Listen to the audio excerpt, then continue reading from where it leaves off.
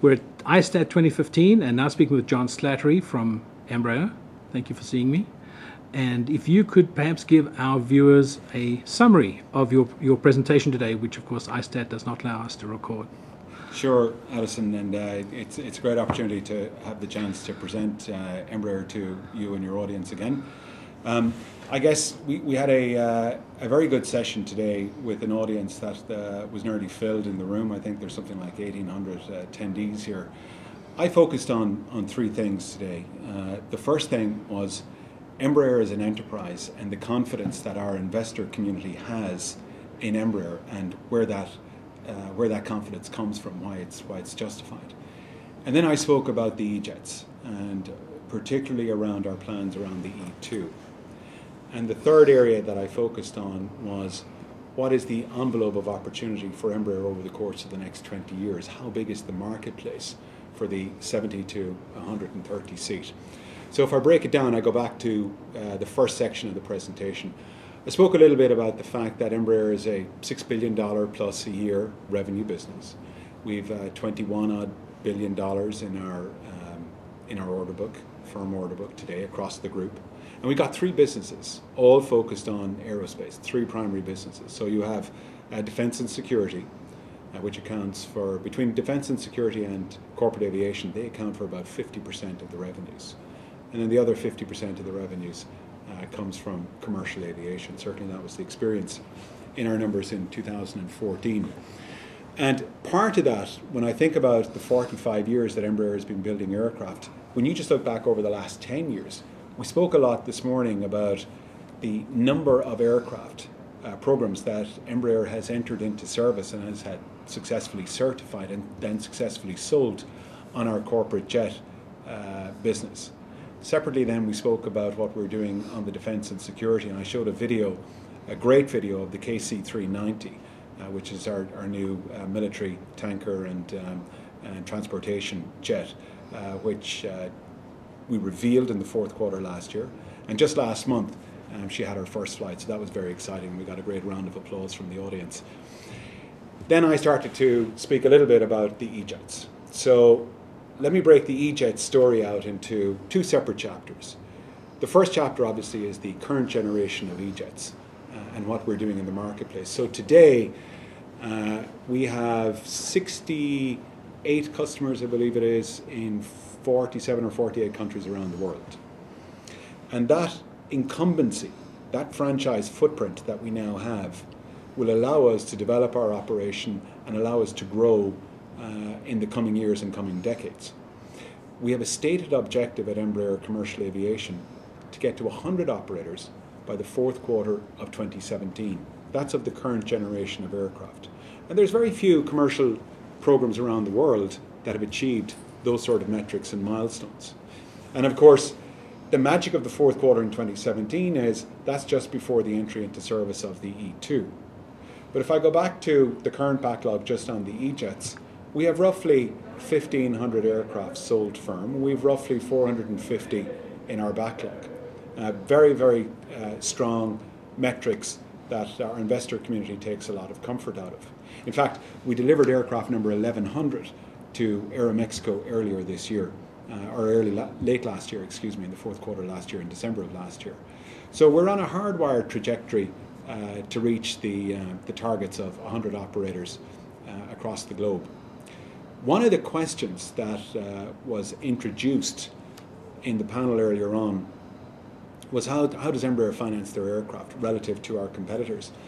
And this was something that I spent a little bit of time, and if I can, I'll share it with you now we have a stated objective, and Marcelo Santiago, our global head of, of customer finance, would, would support this, of diversifying the finance base for the E-Jets.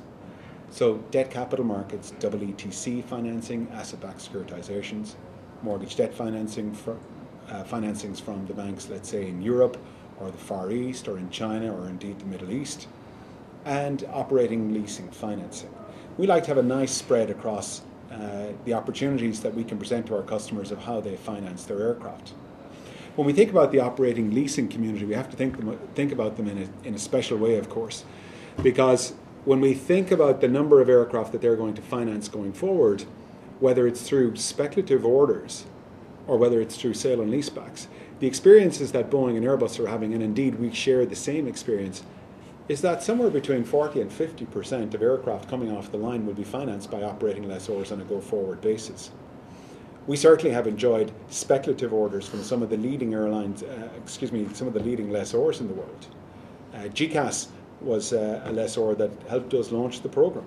Jetscape ordered very quickly thereafter. And then we had uh, Steve Hazy and the Air Lease Corporation, ALC, order the aircraft. And then very quickly thereafter, CIT, Bank of China Aviation, and most recently Aldus Aviation. So we have been an aircraft supplier that the operating leasing community is very confident in. When we launched the E2, we launched the 190 and the 195 with firm orders from what was then ILFC, which is now AerCap. So we continue with our relationship with the lessors, and subsequent to that, ICBC from China have made a speculative order. So just want to capture that in the context of ICE that it's a financing uh, and trading environment here, and to capture the support that we're very grateful for. But not only those lessors, Addison. When we think about the lessors that will do sale and leasebacks, critically important to us. And today on the program, on the current generation, we have, I believe, 29 to 31 or 32 lessors that will very comfortably do sale leasebacks on new aircraft that are del- delivering, or indeed on aircraft that have already delivered, maybe three, four, five years old, and we'll be very happy to take those aircraft on board. So the second part of, of the uh, presentation was talking about the E2, where we are. And in summary, this is an aircraft program where we have an evolutionary program, if you like, but it's not just a re-engining. New cockpit, new wings, new horizontal stabilizer, new APU, Primus Epic 2 cockpit to, cop- to complement the Primus Epic 1 we have on the on the current generation. So uh, pilot commonality, if you like, in the cockpit uh, to great savings for the incumbent operator base as they transition into uh, into the E2. So the E2 family, which will be made up of three members, the 190 uh, E2, which will enter into service in the first half of 2018, the 195 E2, which will enter into service the first half of 2019, and the 175. So the smallest m- member of the family comes at the end of that cadence, early in 2020. So we're very excited about the new family. We've reduced the members of the family by, by one member from, from four to three, but we've broadened the envelope of opportunity that those aircraft can address in the marketplace. We've extended, this is the 190 E2, but we've extended the size of the 195 E2 by three rows. So the economics around the 195 E2 are going to be very complementary to the mindset of mainline airlines, LCC airlines that are chasing the economics. But as we think about these aircraft, and then when we think about the third part of the presentation, which was really what's the envelope of opportunity, these are aircraft that are focused on return on invested capital.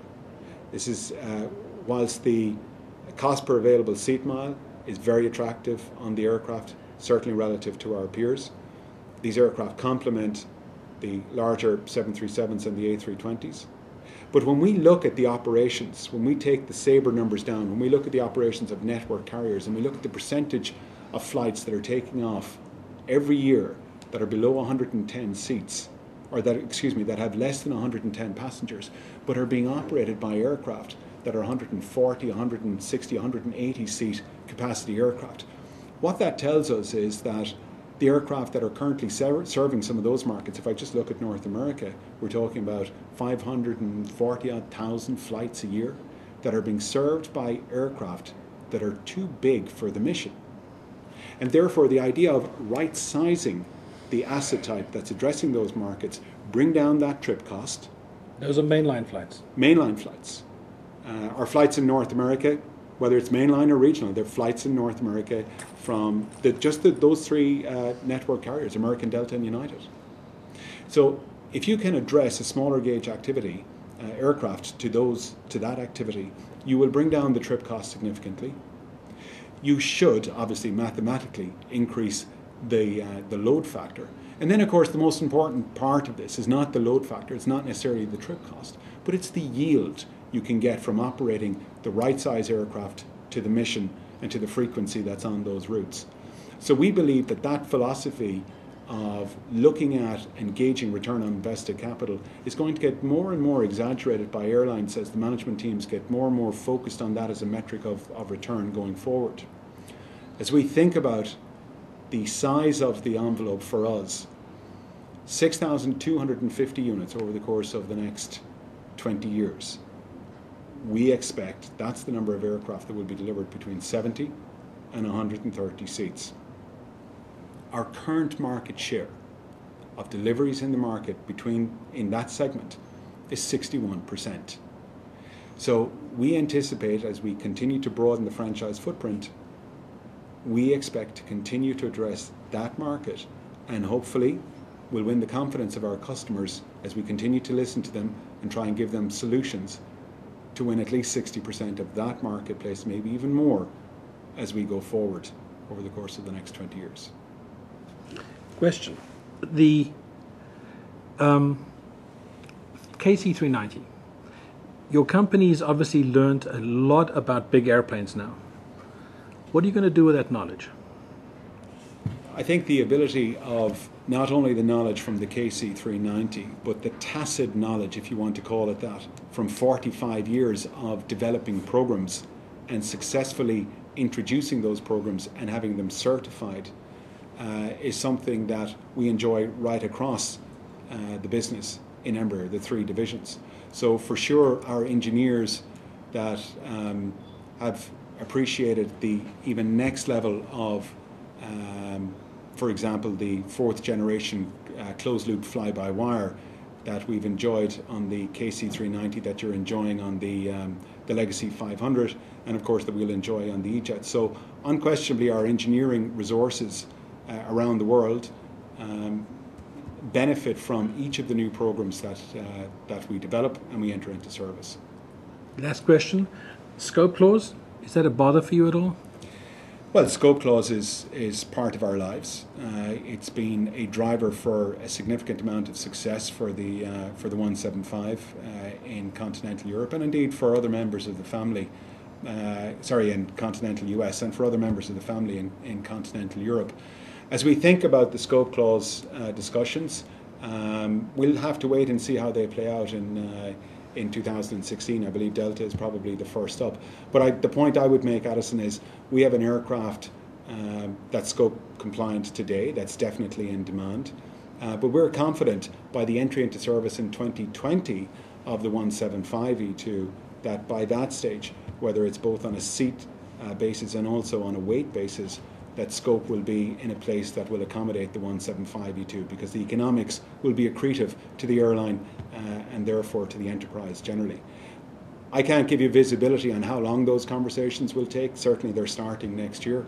But we are confident that by 2020, when our aircraft delivers, we know that some of our competitors have aircraft delivering before then, but certainly for the 175, and that was one of the reasons we put the 175 at the end of that cadence of entry into service of the E2 family. Thank you. You're welcome.